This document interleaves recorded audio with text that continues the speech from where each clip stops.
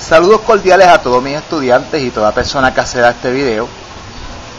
Quisiera hablarles sobre algo que siempre me ha llamado la atención. Y desde que leí esta lectura bíblica, siempre me he puesto a pensar si realmente nosotros vemos en las personas sus cosas buenas. A veces nosotros jugamos tanto y a veces nosotros, lamentablemente, hacemos juicios indebidos de las personas. En específico me quiero referir a la lectura de Centurión Romano cuando le pide un milagro a Jesús para su siervo. No voy, a para, no voy a decir la lectura bíblica tal y como está escrita porque no tengo la Biblia en la mano y tampoco me lo sé de memoria. Pero recuerdo que la historia es así. Una vez Jesús predicando con, su, pues, con sus discípulos y la gente que le sigue, se le acerca este centurión. Todos sabemos que el centurión es un representante del gobierno romano y en aquel tiempo pues los judíos estaban bajo el dominio de los romanos. Este centurión le pide de manera humilde que por favor le cure un siervo. Señor, ¿puedes curar a mi siervo? Jesús sin vacilar dijo que sí. Pero, pero el, el centurión dijo lo siguiente.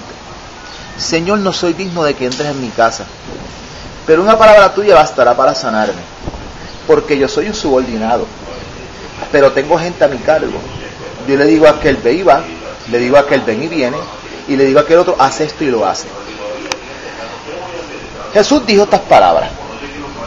En verdad, en verdad os digo que yo no he hallado en Israel tanta fe. Vendrán de oriente y occidente a adorar al Hijo del Hombre, mientras los hijos de la luz rechinan de dientes. Y Jesús finalmente dijo, ve y que sea como diga si reflexionamos sobre esta lectura, hay que establecer lo siguiente. El centurión tenía sus dioses, los dioses romanos que, estudiamos en historia. Zeus, este, Prías, este, este, este, los diferentes dioses que lo que adoraban los romanos. Sin embargo, Jesús no se fijó en eso. No se fijó si adoraba a su padre o adoraba a los dioses de él. Él se fijó en la bondad del corazón del centurión. Eso fue lo primero. Lo segundo, la humilde petición que le hizo que le curara un esclavo o un siervo, es lo mismo. El corazón de ese hombre tiene que estar lo suficientemente puro para pedir una petición como esa, para solicitar algo como eso. Aparte de eso, en otras lecturas bíblicas dicen que el hombre era muy bueno con los judíos. Jesús no lo pensó dos veces para hacer el milagro. Él no se fijó si él adoraba a otros dioses. Él no se fijó siquiera que representaba al gobierno romano que oprimía a su pueblo judío. Él simplemente se fijó en la bondad del hombre, pero más se fijó en la humildad del caballero al decirle, Señor, no soy digno de que entres en mi casa. Y luego un acto de fe, el cual Jesús dijo, ni en Israel hallado yo tanta fe. Jesús sin fijarse en ninguno de sus aparentes defectos o su aparente diferencia política o social, simplemente le hizo un milagro por, lo bondadoso que es el hombre.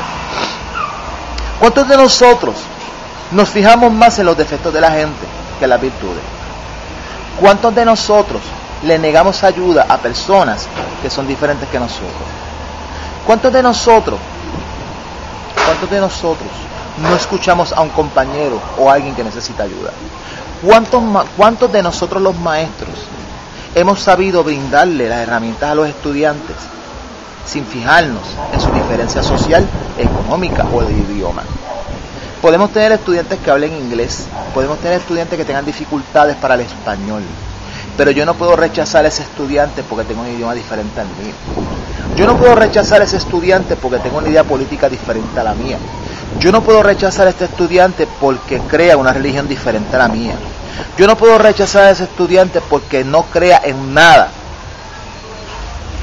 Yo no puedo rechazar a ese ser humano por simplemente ser distinto a mí. O por simplemente no creer en lo que yo creo. Jesús de Nazaret nos demostró que todos los seres humanos son iguales. Todos son iguales.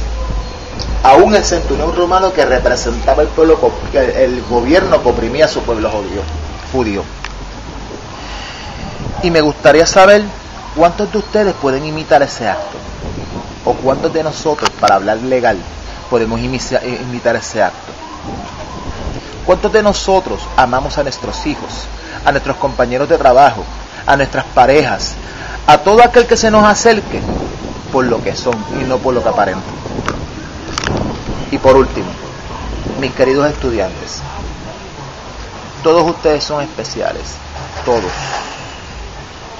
Y no me cansaré de repetirlo, todos son especiales. A todos ustedes, muchísimas gracias.